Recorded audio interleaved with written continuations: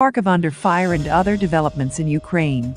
This morning, our live coverage of the Ukrainian war has been focused on Mariupol, which Moscow said was liberated today. Here are some more recent happenings in Ukraine. Families in Bucha have been examining corpse bags in a mortuary for loved ones' remains, according to AFP.